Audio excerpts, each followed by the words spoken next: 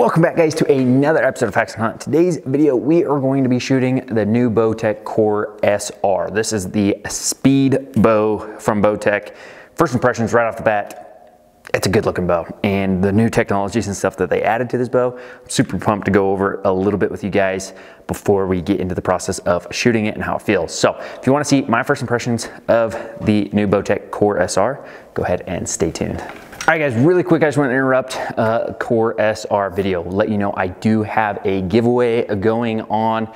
Um, it is live on my website. If you go to haxenhunt.com, purchase a hat, any hat. Only 250 hats to be able to be entered in to win a Mathews V3. So I'm giving away my personal Mathews V3 to one of you guys. Only 250 people could be entered.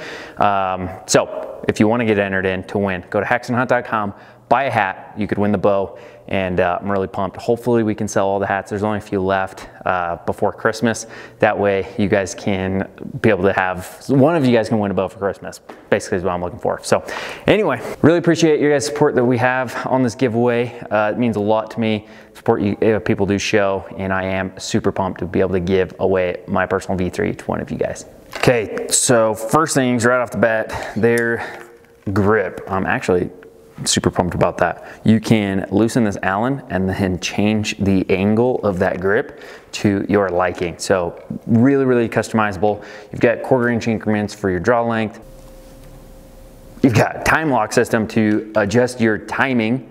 That is new. I did not know about that. I just barely saw that. Um, so that way you're not adding and taking out twists in your string, in your cables.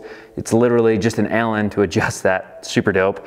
Um, you, the, what is it?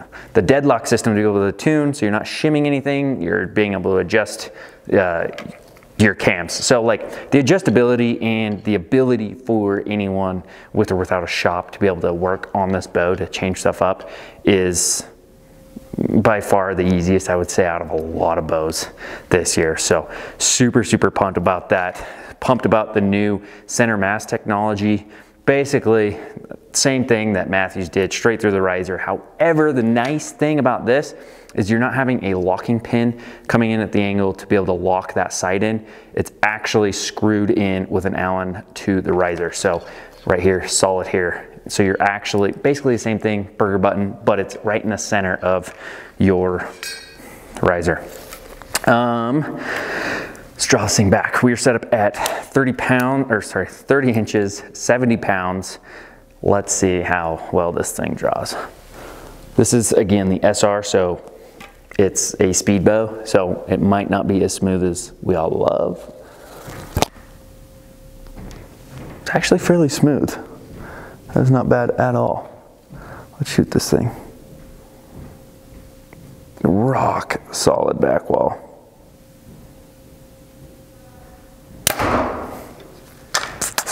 Okay, um, the noise that you're probably gonna be hearing is this tag. Um, I usually try to take them off, but this one I can't take off. So if you do hear random noise, it is gonna be that tag. I didn't love the way that that shot felt. Let's see, let's do that again.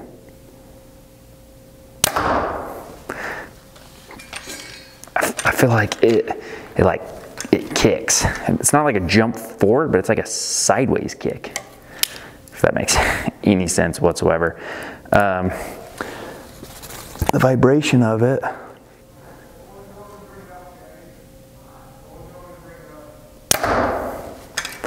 There's not like hand vibration. There's a little bit, but like it's not, I don't know. Not super, super impressed with the way the shot feels. The draw cycle is very smooth. The back wall is very solid. I like a solid back wall, so let's do that again. All right, so the shot process isn't my absolute favorite, but it's, it just kicks a little bit to the side, which it's not the end of the world. It is a speed bow. You're, you're looking at getting top speed out of it. So it's not about being comfortable. Um, it is in the comfort mode on the on the flip disc. So it it's definitely a lot more comfortable than what it's going to perform on performance. Uh, I'm not I'm not the biggest fan of a of the performance side of the mods just because you gain like eight to 10 feet a second and it's super, super like uncomfortable to shoot. So that's why I do have it in comfort mode because I, I enjoy it a lot more than shooting those performance side. I mean, pretty consistent. I feel like it holds really well. Back wall is really solid. Draws fairly smooth, um, but having the ability to adjust basically your shims, adjust your cams, your cam timing, um, super nice. The lock inside the riser, the integrate as well as for your rest.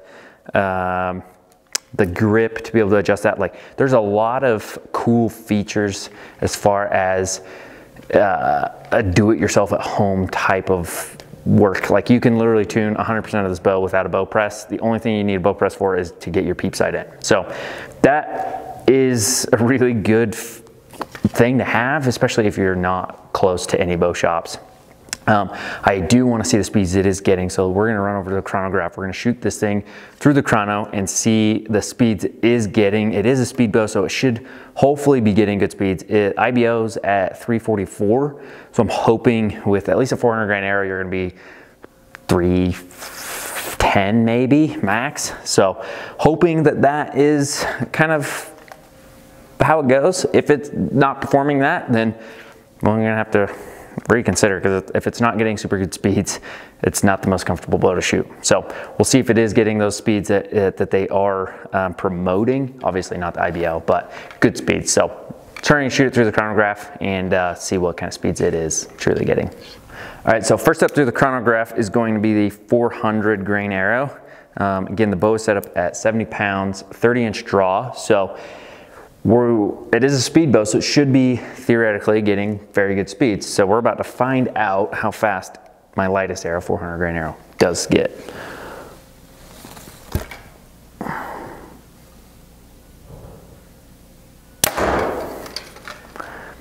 Three oh four. So honestly, not not super fast. I mean, 304, yeah, it's a good speed, but not not as fast as and then if you're in performance mode, you'll be getting 314 or so, which yeah, that's, that is fairly impressive, but it's very uncomfortable in performance mode. Here's a 420 grain arrow. Okay, that's fairly decent there. We are at 300 feet a second, so maintaining that speed pretty good um, with that heavier arrow. Here is a 440 grain arrow.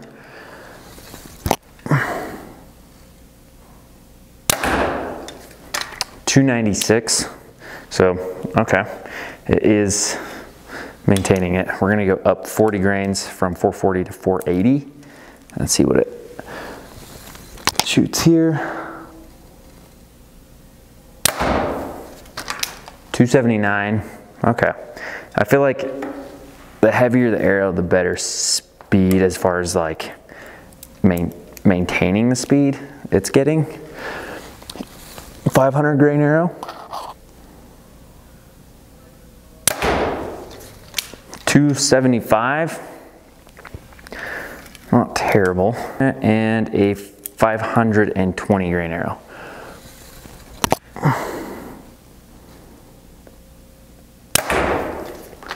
Two seventy. So anywhere from 304 to 270, depending on the uh, weight, weight of the arrow. I do like shooting hunting arrow weights that a lot of you guys are gonna be shooting anyway. So decent speeds, not, not as much as I'd hope being a kind of a speed bow, um, but it's not, not the absolute worst. So we're gonna do a quick three arrow group and kind of give you my overview thoughts of the whole entire bow itself and uh, you know, kind of the ins and outs, what I like and dislike um, overall. So anyway, that's that's the speeds for the Core, Core SR. Let's uh, do a quick three arrow group and kind of decide if it would be worth it. All right, so let's go over the consistency of the shot as well as just settling in. Um, see how accurate basically I feel like it could be with the consistency.